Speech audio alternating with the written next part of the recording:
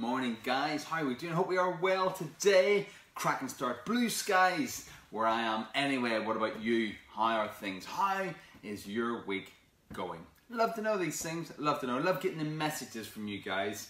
Uh, the comments below, obviously in the in the lives themselves, but also little private messages that I get asking lots of different questions. Um, so yes, keep those coming. Keep those coming as always.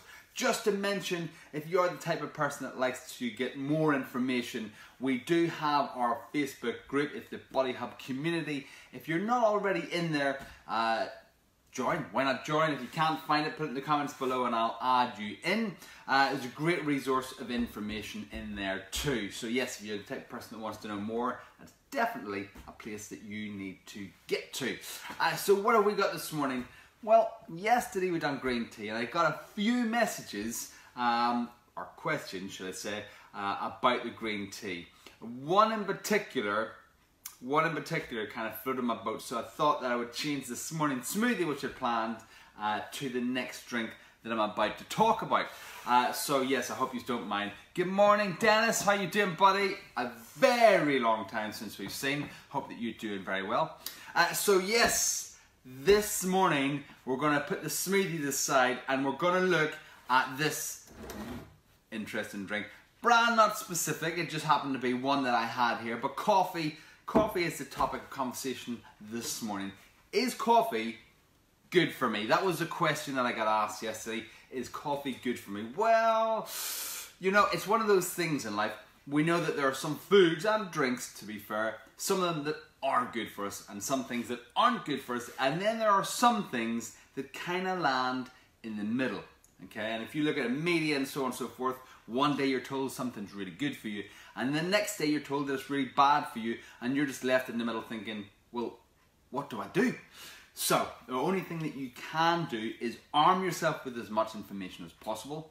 Look at your own person, uh, any ailments that you may have, and then make your own decision that's, that's the best thing that you can do. And remember, if it's one of those foods or drinks that lies in the middle, try and just have it in moderation.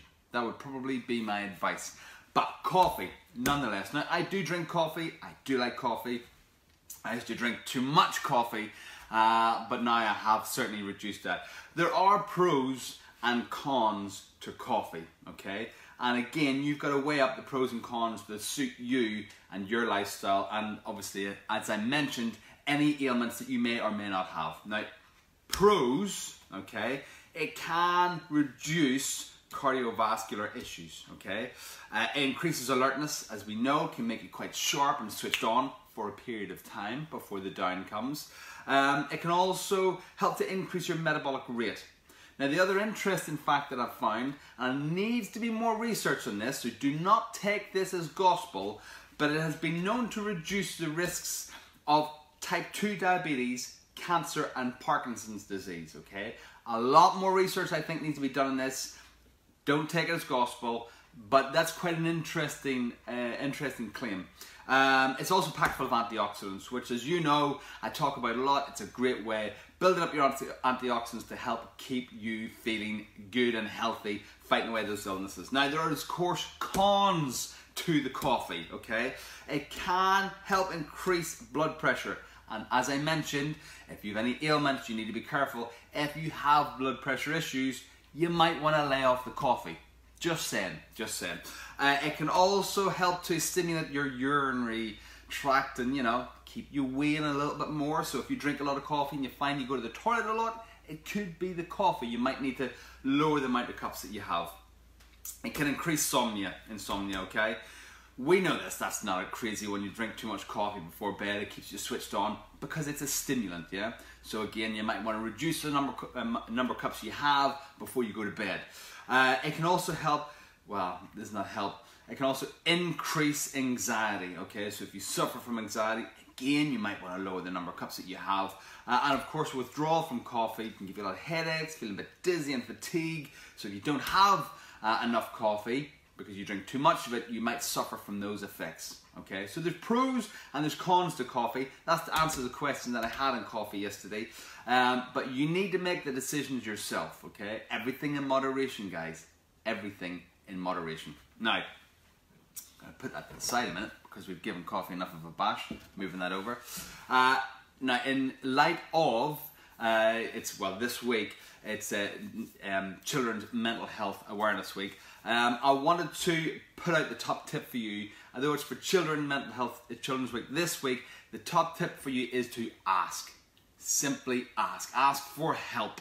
Ask for a shoulder. Ask for anything that you feel you need, okay? Obviously, ask for information for your, your health and your fitness, but more so in the well being. If you're really struggling, ask somebody. Don't hide it in. Ask help.